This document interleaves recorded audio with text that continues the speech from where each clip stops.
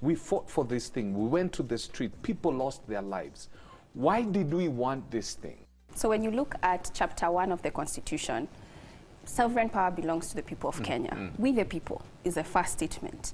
So it's to give that power and dignity back to the Kenyan people. Nerima Wako, executive director of Siasa Place, is posed with stereotypes of youth and governance.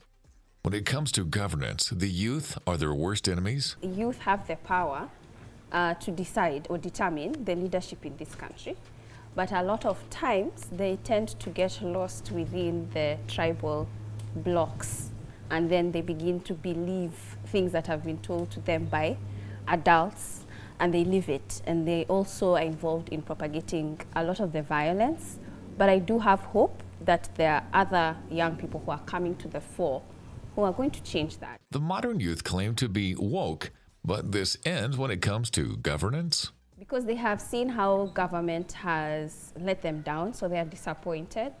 So a lot of times they choose to just not connect, uh, disassociate with it, but they can't run away from it because politics affects them every day in every single way. So they have to be involved in that process. But the youth are very woke. Uh, they can use their platforms to do a lot more that they are doing with it right now. Is there hope for youth in leadership?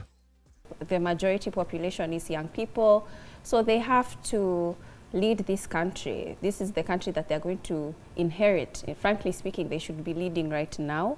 And we're the ones who are going to be stuck here for the next 50 years. So if we don't determine how we want to lead this country, then when we're in a mess, we have no right to complain. So I am hopeful that there are youth who are going to wake up and realize that reality and take leadership.